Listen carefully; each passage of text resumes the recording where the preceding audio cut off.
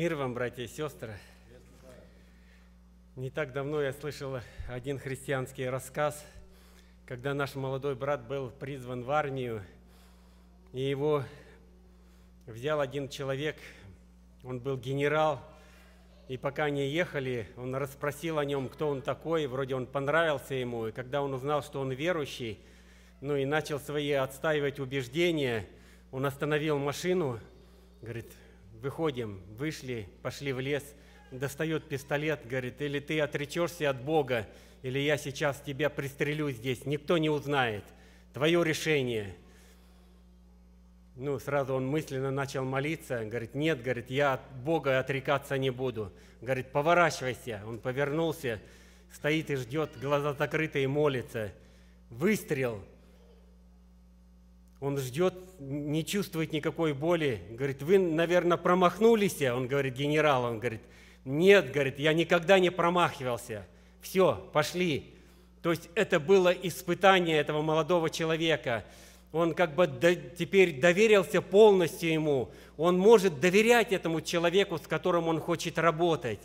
Знаете, в нашей жизни иногда приходит испытание – знаете, Бог проводит нас через такие испытания. И я слово, которое хотел сегодня говорить, Бог, испытывающий нас, назвал это слово. Давайте мы прочитаем Иова, 7 глава, 17-18 стихи. Что такое человек, что ты столько ценишь его и обращаешь на него внимание твое, посещаешь его каждое утро – каждое мгновение испытываешь Его. Человек – это венец творения. Знаете, сегодня все обращают э, духовный мир на человека.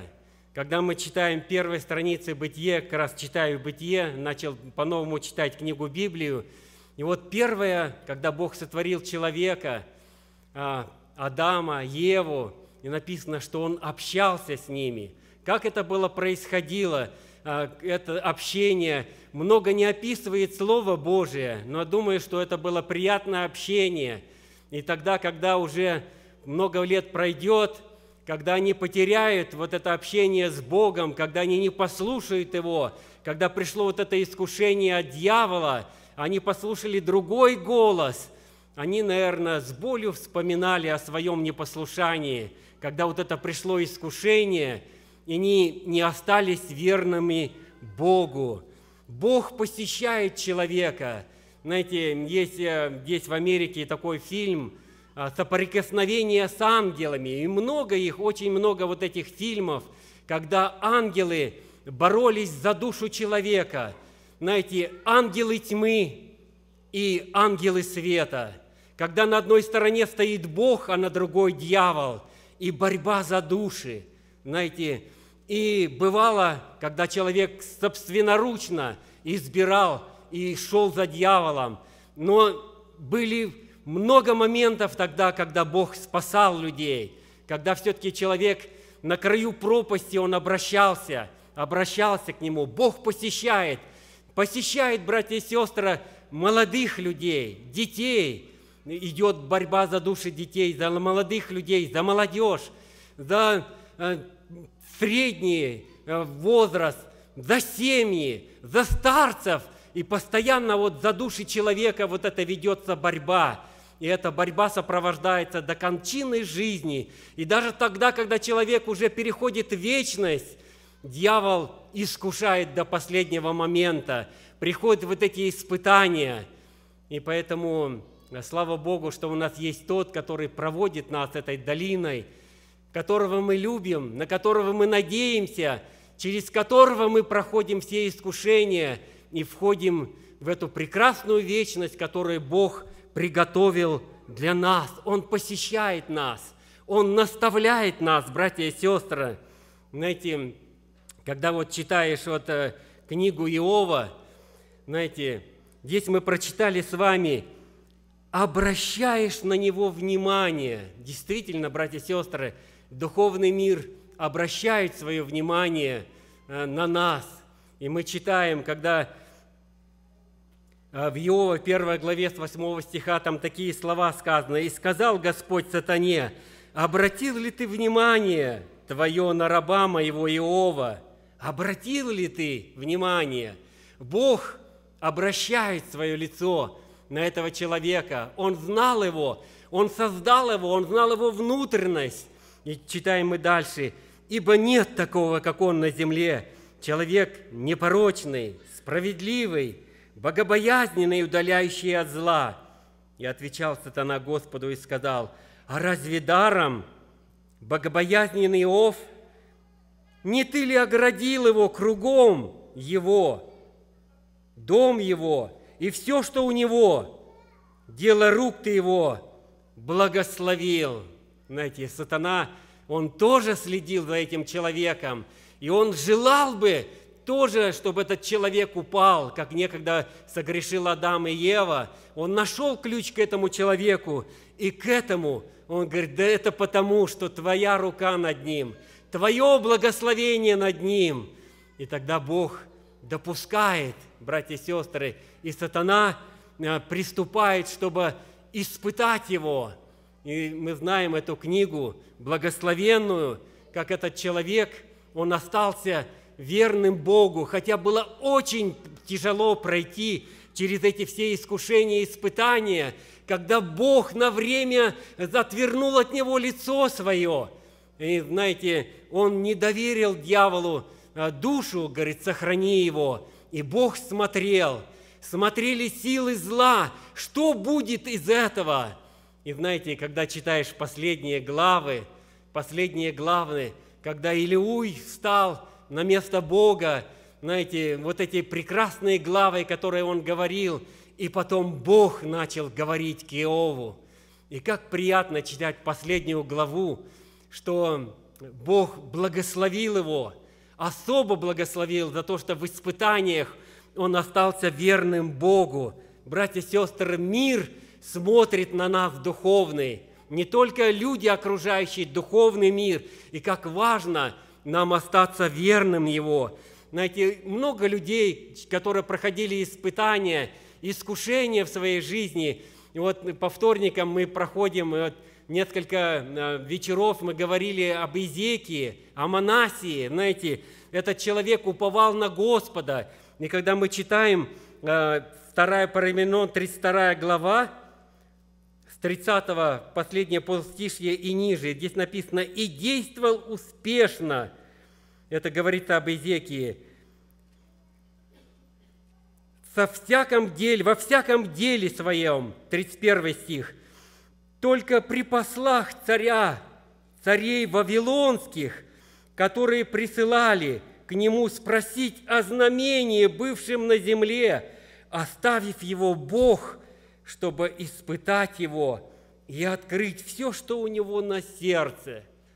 Этот человек был благословенный, много сделал прекрасного, и перечисляется все это. Я смотрел и Исаия, и Паралипоменон, и царство об этом человеке. Знаете, и когда пришло время, он говорит, ты умрешь от болезни, который заболел.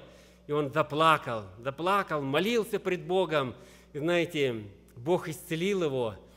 И ему дал знамение и говорит, какое знамение изберешь, чтоб тень, которая будет сейчас от солнца а, сходить вниз или вверх по ступеням. Он говорит, легко сходить тень, как обычно, она будет потихоньку сходить. Но вот если она, а, а, то есть вернется, и, говорит, э, и он говорит, будет так, и так это знамение было. И написано, что тень спустилась по ступеням э, человека, который строил эти ступени. И знаете, он увидел это знамение. Бог продлил ему 15 лет жизни. И вот написано здесь, Бог один раз его оставил, братья и сестры, оставил, чтобы посмотреть, как оставил Иова, знаете, когда дьявол приступил. А здесь мы читаем – один раз Бог оставил его, и что произошло?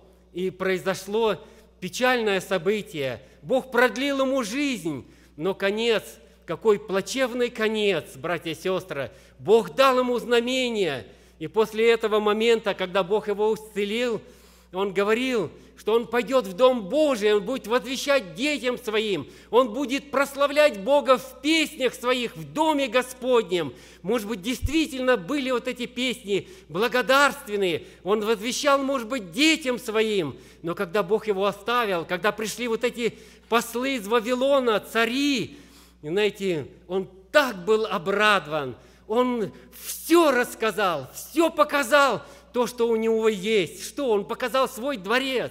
Он показал все свои оружейные э, комнаты, где его прекрасное оружие, эта комната были, знаете, где его сокровища, где его в прекрасных сундуках лежало серебро, золото, драгоценные камни, благовонные масти. Знаете, он все, ну, все рассказал, все, что у него было. Знаете, знаете, они пришли узнать об этом знамении, но только вот это он, Господа, Господа, он ничего не сказал им о Господе, того, по которой милости он жив, Бог продлил ему, он ничего не рассказал о Боге, все сделал. Братья и сестры, не похожи ли мы часто, когда нас даже по-простому спрашивают, как дела, братья и сестры, я всегда отвечаю, слава Богу, говорю, хорошо, слава Богу, всегда говорю. И одного э, супервайзера научил, говорю, когда спрашивают, говори слава Богу. Когда он, э, я его спрашиваю, он говорит, слава Богу, хорошо, знаете, говорить, ставить на первое место, слава Богу, благодарить Его. Он даже ничего не сказал, когда они спрашивали, какое-то знамение, мог бы рассказать, как Бог продлил его жизнь. Вот это знамение, о чем они спрашивали, он был так увлечен, так обрадован, что эти послы пришли. Но о Боге совершенно ничего не сказал, братья и сестры. Исаия, когда мы читаем,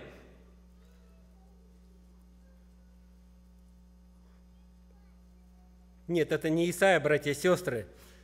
Знаете, ты взвешен на весах, ты взвешен на весах и найден очень легким. Братья и сестры, Бог взвешивает нас. Вот как этот царь, он оказался очень легким. И вот так и Иезекия, он оказался очень легким. И когда мы читаем дальше, что Бог проявил вот эту милость о нем, это 2 Повинон, 32 глава, 25 стихом, но не воздал Иезекия злобогод... за оказанное ему благодеяние, ибо возгордилось сердце его. Не оказал то, что Бог сделал, возгордилось сердце его. Ему пришлось, знаете, Богу смирять, испытать его еще раз, и потом только и весь Иерусалим склонится перед Богом, попросит прощения – Дальше мы читаем. Псалом 138, э, в псалме, вообще этот прекрасный псалом, знаете, он, э, я думаю, что вы его тоже любите, где говорится, что Бог тоже посещает человека. Говорится в первого стиха, «Господи, Ты испытал меня и знаешь, Ты знаешь, когда я сажусь и когда встаю, Ты разумеешь помышления мои издали, Иду ли я, отдыхаю ли, ты окружаешь меня, и все пути мои известны тебе. Знаете, как хорошо и ясно дальше, но просто невозможно все прочитать. Знаете, и дальше просто говорится, он, сам этот человек, он говорит, испытай меня, Боже, в 23 стихе, узнай сердце мое, испытай, узнай помышления мои, и зри, не на опасном ли я пути, и направь меня на путь вечный. Сам автор этого псалма говорит, чтобы он сам, Бог, испытал его и узнал его сердце, узнал помышление его, открыл внутренность, как Изекии, что же будет. И он говорит, когда будешь это делать, зри, не на опасном ли я пути, и направь меня на путь вечный, Знаете, он как бы отдает себя в руки Бога, чтобы в этих испытаниях Бог сам направил на этот вечный путь, чтобы не оказаться ему в трудном обстоятельстве, как когда-то оказался Каин, когда мы читаем в Бытие, вот этой четвертой главе, когда они приносили с братом своим жертвы, и жертву Авеля, брата его, Бог принял, а жертву Каина не принял. И мы читаем, что поникло лицо его, и сказал Господь Каину, «Почему ты огорчился? А чего поникло лицо твое? Если делаешь доброе, то не поднимаешь ли лица? А если не делаешь доброго, то у дверей грех лежит. Он влечет тебя к себе, но ты господствуй. Вот этот путь, э, знаете, падения Авеля, Бог смотрит, Бог идет навстречу, чтобы как-то поддержать его. Ты господствуй, грех влечет тебя, господствуй над ним. Знаете, но он не послушал, не послушал голос Бога. И когда совершил этот грех, он так просто, разве я сторож брату своему, где этот Авель? Разве я сторож ему? Знаете, пред лицом Бога, лгать ему. Разве Бог не знает, где Авель? Братья и сестры, это путь он избрал сам. Бог предупреждал его в этом испытании, он пал, он ушел. И поэтому Иов говорит, пусть взвесит меня на весах правды. Бог узнает мою непорочность. Выйду как золото, в другом месте говорится. Бог испытывает, как бы хотелось, чтобы в нас, когда придут эти испытания, искушения, оказаться верными, как золото, братья и сестры. Я бы хотел, хотел, чтобы в этих искушениях и испытаниях мы остались Богу верным. Иова, 31 глава, 14 стихом написано, «То, что стал бы я делать, когда бы Бог восстал, и когда бы Он взглянул на меня, чтобы я отвечал Ему». Братья и сестры, знаете, когда человек, ну, когда его сердце чистое, как Иов, он требовал вот этого суда, он требовал, он хотел отстоять пути свои пред Богом, его лицо было поднято, и хотя, когда Бог предстал, когда Бог появил свое могущество, что Он не обязан делать отчеты людям, но Бог проявил свою милость ему, Иов раскаялся, он понимал, что не так верно говорил в своих страданиях и печалях своих, чтобы мы могли ответить, братья и сестры, могли мы с поднятым лицом предстать пред Господом. Он учит нас, Он наставляет нас, Он испытывает нас. И опять же, этот человек мудрый говорит Иову, 33 а, глава, 14 стихом, Бог говорит однажды, и если того не заметит, другой раз, во сне, в ночном видении, когда сон находит на людей, во время дремоты на ложе, тогда он открывает у человека ухо и запечатлевает свое наставление – чтобы отвести человека от какого-либо предприятия, удалить от него гордость, чтобы отвести душу его от пропасти и жизнь его от поражения мечом. Если он вразумляется болезнью, или он вразумляется болезнью на ложе своем и с жестокою болью во всех костях своих, чтобы показать человеку прямой путь его – вот для чего Он делает, чтобы остановить, указать путь, путь спасения, братья и сестры, говорит ему ночью, вразумляет с нами, направляет Господь нас. Слава Богу за то, что Он такой чуден. Он не желает, чтобы кто погиб, братья и сестры. Слава нашему Господу за то, что Он у нас такой. В Риме мы читаем в 17 главе, 9 стихом, что сердце человека, Бог знает его, оно более всего крайне испорчено. Кто узнает его? Бог знает, поэтому и спешит на помощь к нам, грешным людям. Он говорит в 10 стихе, «Я, Господь, проникаю в сердце испытываю внутренности, чтобы воздать каждому по пути его и по плодам дела его». Вот Бог вникает, братья и сестры, во все наши дела, во всю нашу внутреннюю жизнь. Он желает нашего спасения. Бог знает, и Он спешит на помощь нам. Много таких мест, особенно в псалмах, где говорится в седьмом псалме 10 стихом, «Да прекратится злоба нечестивых, а праведника подкрепи, ибо ты испытываешь сердца и утробы праведные Божии». Знаете, Он спешит к праведным, поддержать их, испытать сердце их – но и поддержать, братья и сестры. Бог не делает эти искушения, чтобы человек пал, а чтобы он стал богаче, духовнее, чтобы он устоял вот в этих испытаниях. И Бог проводит праведника, как Иова провел через эти испытания, чтобы мы, когда потом впадаем в эти искушения, у нас был вот этот пример, когда мы откроем вдруг Слово Божие, и вот этот Иов скажет нашему сердцу то, через что он прошел. И поэтому вот это Слово, а, оно тогда, знаете, возрождает нас, оно дает нам силу идти дальше.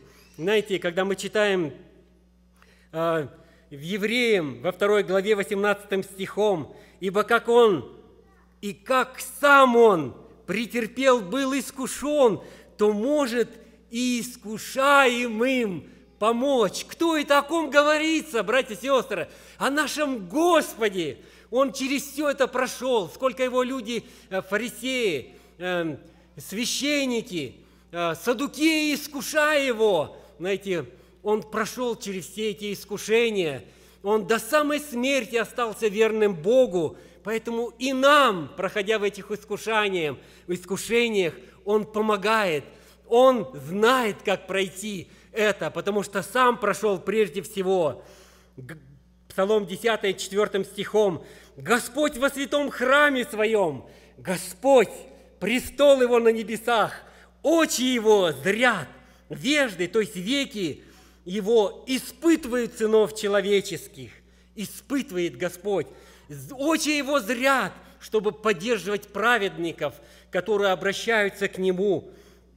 Господь испытывает праведного, а нечестивого и любящее насилие ненавидит душа его, испытывает праведника, ибо Господь праведен и любит правду, лицо его видит праведника. Слава Богу за эти чудные утешения. Он видит и поддерживает. Ты испытал сердце мое, посетил меня, Псалом 16, 3 стихом, посетил меня ночью, искусил меня и ничего не нашел. От мыслей моих не отступают уста моя. Четвертый стих. В делах человеческих, по словам уст твоих, я охранял тебя от притеснителя. Утверди шаги мои на путях твоих, и не дай поколебаться стопам моим. Он охранял себя, братья и сестры, этот человек. Он, э, э, знаете, испытывал свое сердце. Он не хотел, чтобы в жизни своей оскорбить Господа. Он охранял себя от притеснителя. «Утверди, — говорит Богу, — шаги мои на путях твоих, да не поколеблются стопы мои». Как это важно, как это хорошо, когда мы в этих испытаниях побеждаем – не то, что мы такие сильные, но когда доверяем себя Богу, и Бог проходит нас через эти искушения. Она, знаете, много людей проходили через искушения. Написано, что Слово Божие испытало Иосифа. В железо вошла душа его. Он оказался верным. Хотелось бы, чтобы вот это слово, которое сегодня я читаю, оно помогло нам. Знаете, Бог посылает на каждый день свою благодать. Когда мы молимся утром и когда читаем это слово, знаете, Бог запечатлевает его, чтобы нам пройти этот день, побороть всякое искушение. Пусть Господь поможет нам, чтобы в нашей жизни Ты испытал сердце мое, посетил меня, искусил меня и ничего не нашел. Как хотелось, чтобы, наше сердце было чистым, искренним пред Богом, потому что Бог с искренним поступает искренно, с лукавым по лукавству Ему. Поможет нам, проходя эти искушения, остаться верным, как многие, которые прошли перед нами, как этот молодой человек, перед которым стоял вот этот генерал с пистолетом, остался верным в этом искушении.